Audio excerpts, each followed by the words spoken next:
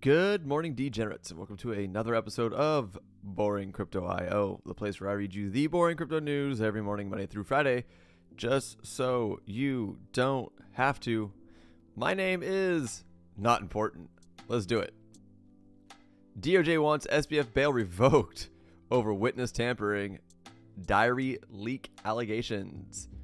Kansas Heartland Tri State Bank closed by FDIC as banking crisis deepens. And Coinbase CEO says SEC told it to delist everything but Bitcoin. Wah, wah, wah, wah.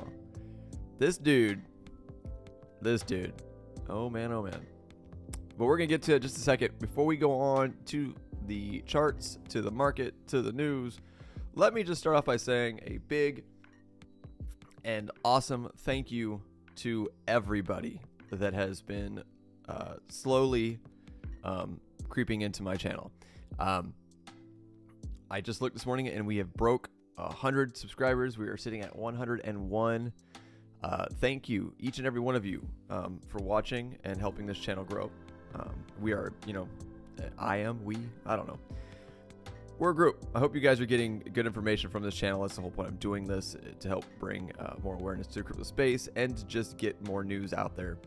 Um, I am a very opinionated person, but I try my best to not sway off the rails too often um, and give my opinions too much. I'd rather this just be about the news um, and not necessarily like you know your your your basic trading channel things like that. I just want to get some news to you guys.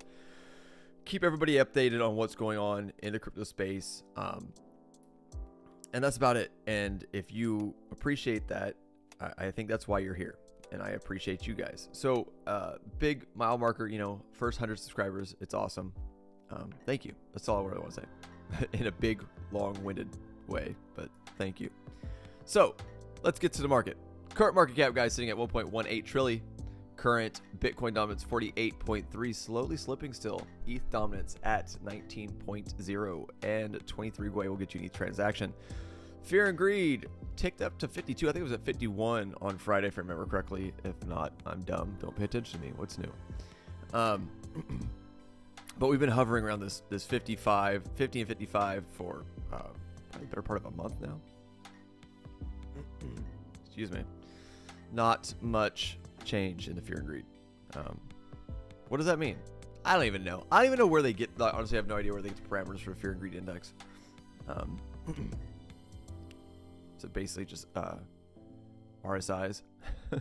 if something's over, if we're oversold, um, it's greed. If we're overbought, I, I don't know. I don't know. Maybe I should look into it one day, but I'm kind of lazy, so who knows. All right, current market right now, kind of looking sideways after Bitcoin um, got a little volatile last night. Had a little bit of a a tantrum, then calmed down. But right now, yeah, not too much going on that I could see. Um, it does look red, but I mean, look at these reds. These are, you know, 1%, things like that. And then anything that's big, I'm seeing like fours and fives. So not nothing too crazy. Uh, that's why I'm saying kind of sideways still. Nothing too big on the daily. 7.7 for optimism, up 7.7. Aave down 4.2.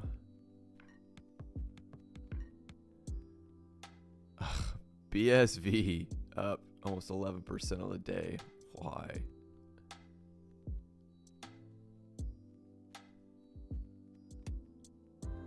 Curve down 12.7%.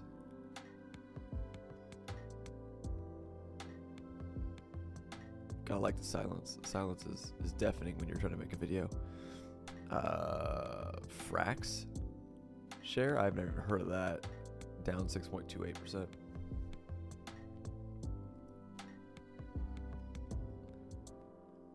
Yep, that's about it, guys. Let's just get and go. Let's go ahead and get on to Bitcoin and continue. All right, so when I left you guys on Friday, this is what I was looking at. We had our channel. Um, we broke out of the channel, created a potential double bottom, which I told you, and we did. We pumped up out of that double bottom, which again, now here is here's why I always tell you guys, be prepared for the up or the down. Every every pattern has a potential to move up or down. It's just a percentage based on what it usually goes, which direction based on the pattern, right? This could have potentially been a huge, well, not huge, we're on a one hour time frame, but for a one hour time frame, a huge uh, bear flag. Or, like I said, a double bottom, which is a reversal pattern, right? Bear flag would be a continuation pattern, rollover, continue down to the downside. Double bottom, reversal pattern, moves to the upside. So we got the double bottom. It pumped back into the channel. Now I thought that we'd probably just come. I mean, we respected this trend line heavily on the one hour, and I figured if we pumped back into the channel, we'd just continue the pattern. Right? We didn't. We, we pumped back into it and fell right back out of it. Um, then what I started seeing is 29.3 holding pretty well as support. Just kind of waving it, you know, up and down, up and down, up and down. Um, and then around like last night, yesterday, this is where we started getting really weird and volatile. Um, we pumped back above it. Now we're kind of setting up a, a, a, bull flag on the one hour. I would keep your my eyes on this for a potential a potential move. Um, but this 29.3 is looking like decent support, and I started playing with stuff. I've seen other people on other channels doing like big wedge like this or something that we eventually broke out of that we're kind of now riding the top of doing a retest. That's a potential. Um, I saw some guy doing something weird like this using this wick.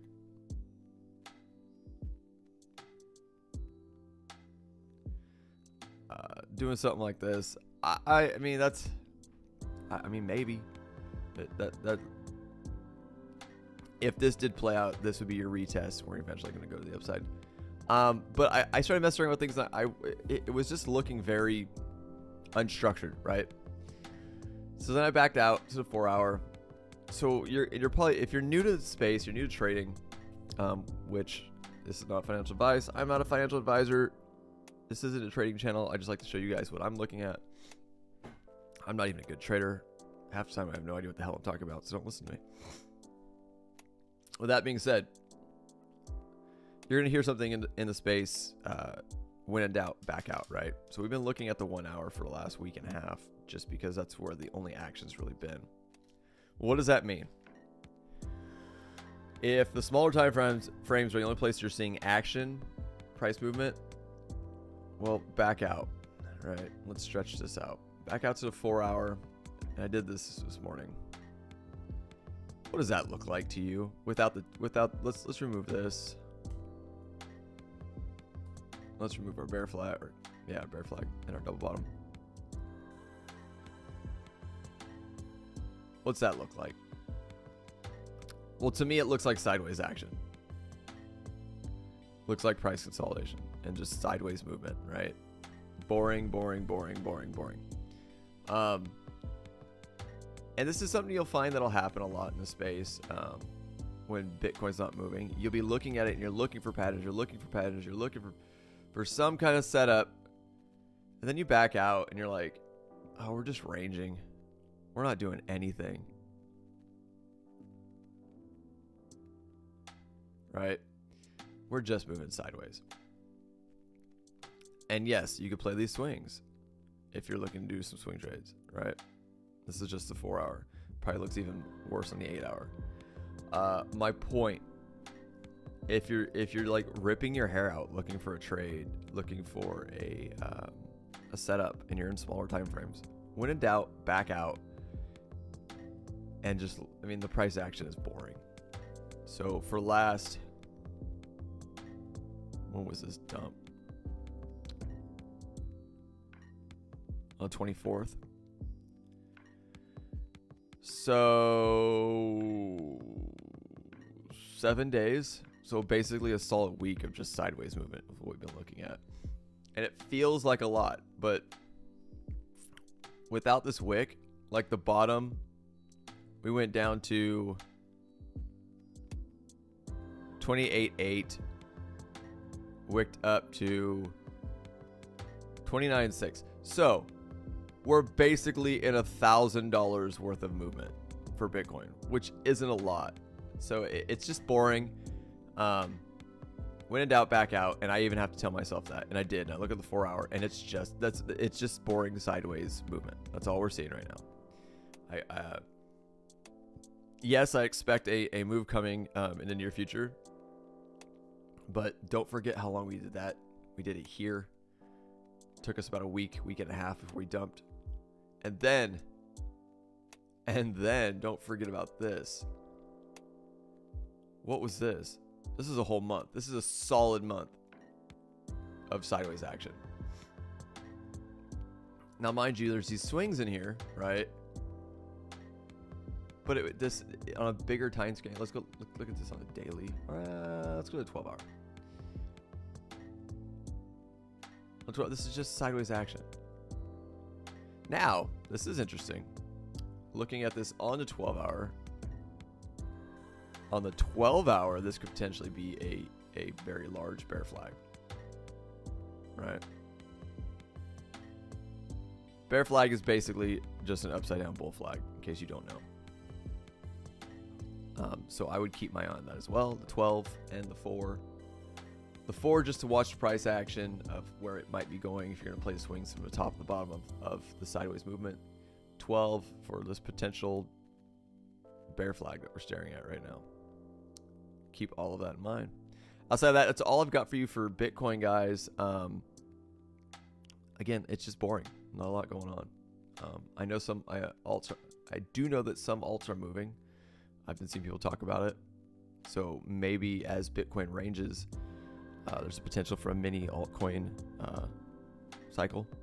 Keep your eye on your alts, but also keep an eye on Bitcoin because if it dumps, alts will bleed like it's nobody's business. I don't think anything uh, has changed with that narrative into space. Um, until it does, always keep your eye on Bitcoin as a barometer of what's going to happen. So, let's move on to the news. DOJ wants SBF bail revoked over witness tampering, diary leak allegations. The filing revealed on January 15th, 2023, SBF contacted the current general counsel of FTX US, who could potentially serve as a witness in the trial. This shady dude. He does. This dude. I don't. Do I think he's gonna go to jail? I don't know, but I think he's been given a lot of leeway to do whatever the hell he wants for someone who is up against some very serious charges. Uh, according to a July 28th court filing, the United States Department of Justice is seeking a revocation of Sam Bankman Fried's bail, accusing him of attempting to tamper with witnesses and leaking Caroline Ellison's diary to the New York Times. The DOJ, the DOJ noted that SBF, too many acronyms, guys, I'm sorry, noted that SBF was released on a bond on December 22nd of 2022, but later requested multiple bail modifications, according to the filing on January 15th of 2023. The defendant reached out to the current general counsel of FTX US via email and the encrypted messaging application Signal. In the communication, SBF expressed a desire to reconnect and explore the possibility of establishing a constructive relationship. He inquired about potential of using each other as resources and providing mutual input on various matters. This dude is acting like he's still in business.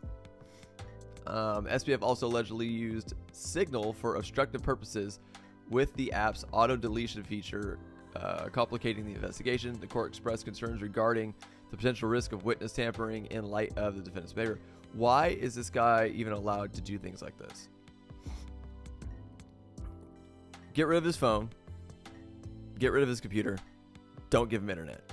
What? Like, this is absolutely insane. Like, they're, they're treating this dude like he's on a four star resort, five star resort, and he's just a pampered patron. Um, according to John Reed Stark, former U.S. Securities and Exchange Commission's Office of Internet Enforcement Chief Judge Lewis Kaplan has several options. He could view SBF's actions as an effort to improperly influence witnesses and choose to either make further modifications to his bail conditions or revoke his bail entirely. He argued that Kaplan would face a tough decision in this case. If SBF is permitted to stay free, the judge will likely re- reiterate his previous warnings.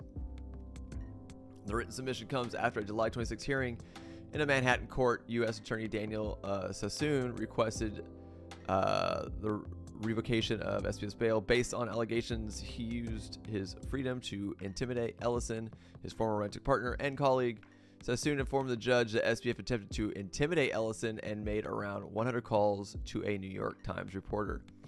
That's shady. Yeah, because supposedly she's got a plea deal and she's going to be testifying against him. Uh, in a July 20th complaint, the DOJ also leveled accusations against SBS for leaking Ellison's diary, accusing him of trying to publicly discredit a government witness by sharing her personal writings with a reporter. Yeah, lock this dude up. This is ap- like this is bullshit. Put him in jail. Straight to jail.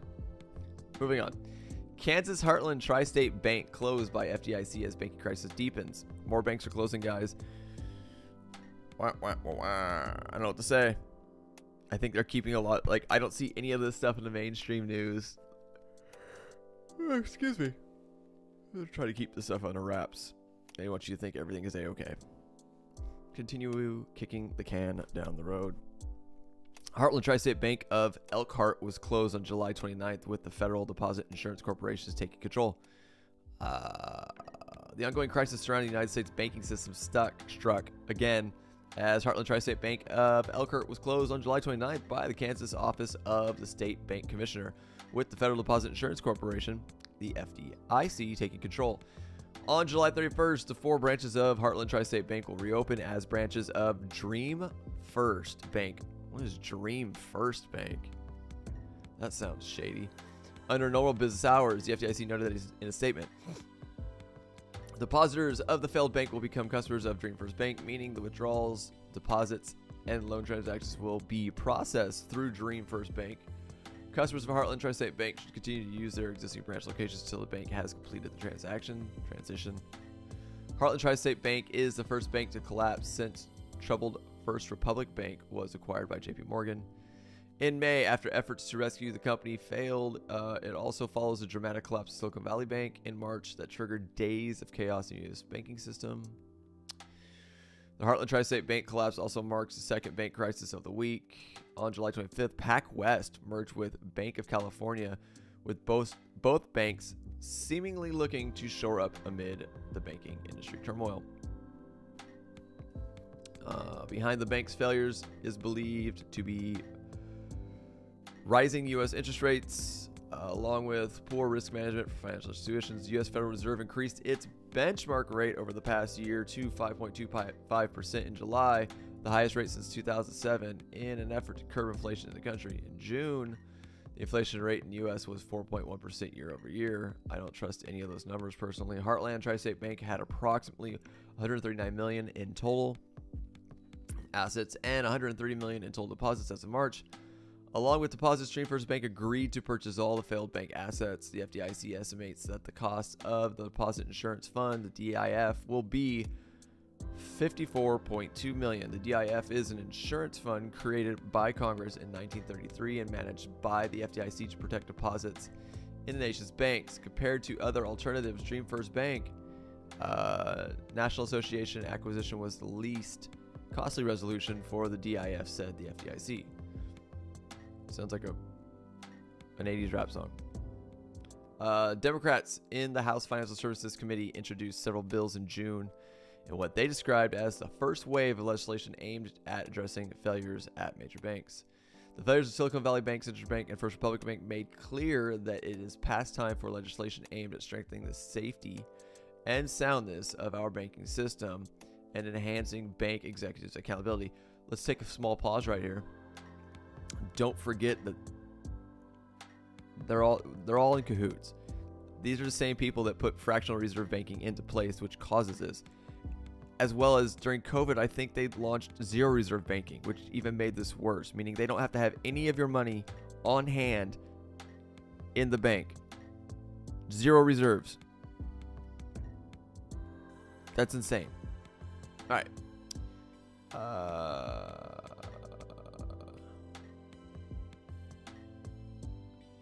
Representative Maxine Waters, Congress must not sit by idly. By, uh, yeah.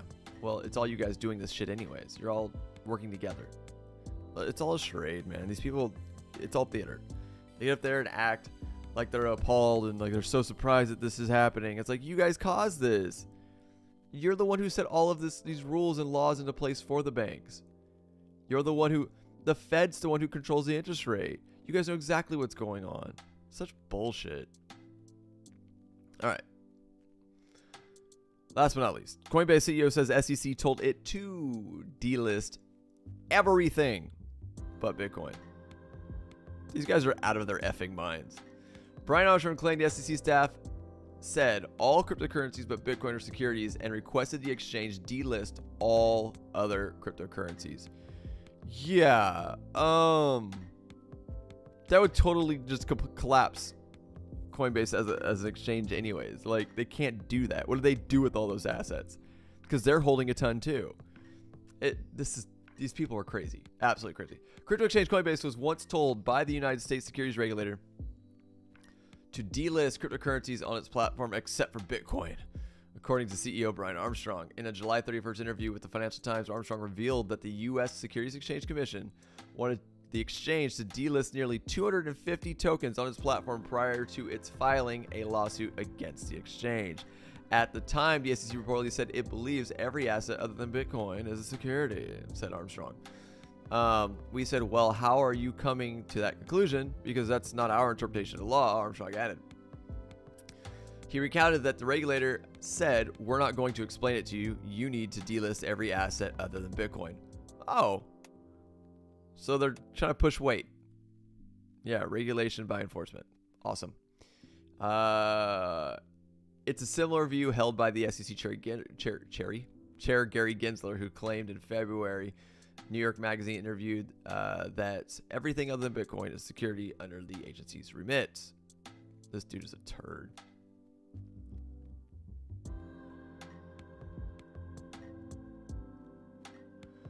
I hate, I hate, they always, they, I hate that they hide behind this. Um, there's nothing about the crypto securities, crypto securities market. This dude is even changing the terminology. There's nothing about the quote unquote crypto's securities markets that suggests that investors and issuers are less deserving of the protection of our securities laws. This is this this statement to me absolutely makes me want to vomit. These guys act like they're the gatekeepers to investing.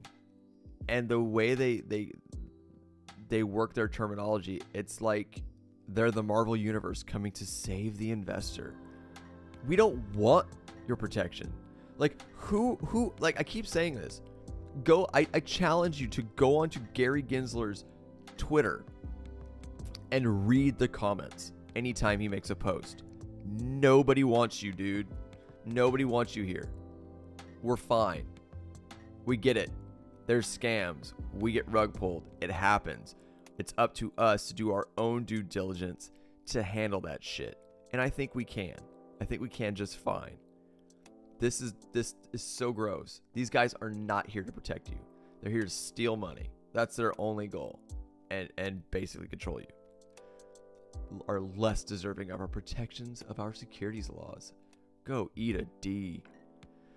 Armstrong said that agreeing to the SEC's request could have set a precedent and would have essentially meant the end of crypto industry. I completely agree. In the United States, this dude is such a tool bag. Uh, it kind of made it an easy choice. Let's go to court and find out what the court says. The SEC sued Coinbase in early June, alleging that it operated as an unregistered exchange and named 13 cryptocurrencies it said Coinbase offered as unregistered securities. Days earlier, the regulator filed similar complaint against Binance. Uh, the SEC told Financial Times its enforcement division does not make formal requests for companies to delist, delist crypto assets but that its staff may share its view on what actions could violate securities laws. Crypto industry oversight in the U.S. hasn't landed on any one regulator, and the Commodity Futures Trading Commission and the SEC have both taken regulatory action against crypto industry players. Legislation that would mostly hand crypto jurisdiction to the CFTC and clarify the SEC's crypto related role passed the House Agriculture Committee on July 27th after its early passage through the House Financial Services Committee. Um, yeah, this is uh, this is all the same stuff. It's nothing new, but the fact that this dude and his cronies keep making statements like this, investors and issuers are less deserving of our. Like, we don't want you here. Nobody's begging you to come save them. But we can't get rid of them because they're not elected officials. Awesome. Way to go, America.